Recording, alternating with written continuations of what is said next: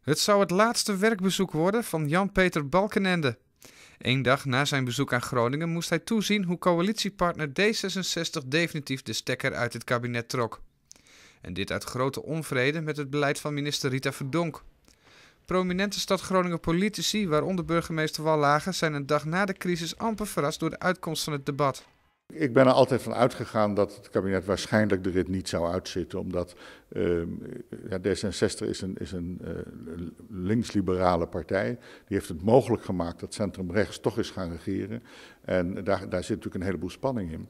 En wat je dus ziet is na een tijdje dat die spanning zo groot wordt eh, dat die niet meer te overbruggen valt. En ja, het is natuurlijk voor de premier wel, wel buitengewoon pijnlijk dat hij nu voor de tweede keer uh, zijn ploeg niet bij elkaar weet te houden. Als je naar de positie van D66 kijkt, was het veel beter dat dit kabinet de rit afmaakte.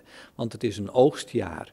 Maar ja, uh, als je een uh, zo blunderende minister in je, in je groep hebt.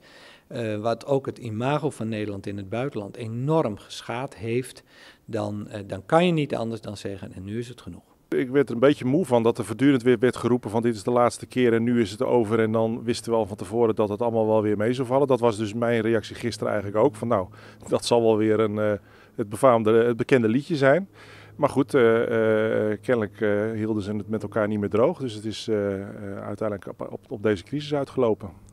Bij het werkbezoek aan Groningen werd er met premier Balkenende van gedachten gewisseld over tal van onderwerpen die het noorden aangaan. Zoals de Zuiderzeelijn, waar dit kabinet geen groot voorstander van was.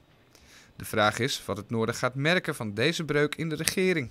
Voor Noord-Nederland is het denk ik een voordeel uh, dat nu uh, die, die mensen in Den Haag die gewoon van die snelle trein af wilden, hun kans niet krijgen. Het is een nadeel dat besteding van allerlei gelden ook uh, vertraging kan oplopen. Ik verwacht overigens dat men zal proberen met een minderheidskabinet missionair toch nog eventjes door te regeren.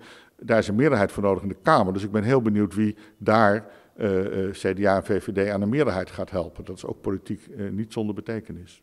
Nou ja, wat we nu weten in ieder geval is dat, dat dit kabinet voornemens was om niks voor Noord-Nederland te doen. dus wat dat betreft kunnen we er alleen maar op vooruit gaan. Nou, het ligt er dus even aan wat, wat, in wat voor status het kabinet doorgaat. Als het echt demissionair wordt en alleen maar uh, verkiezingen gaat organiseren zo snel mogelijk, ja, dan worden er geen uh, zwaarwegende besluiten meer genomen.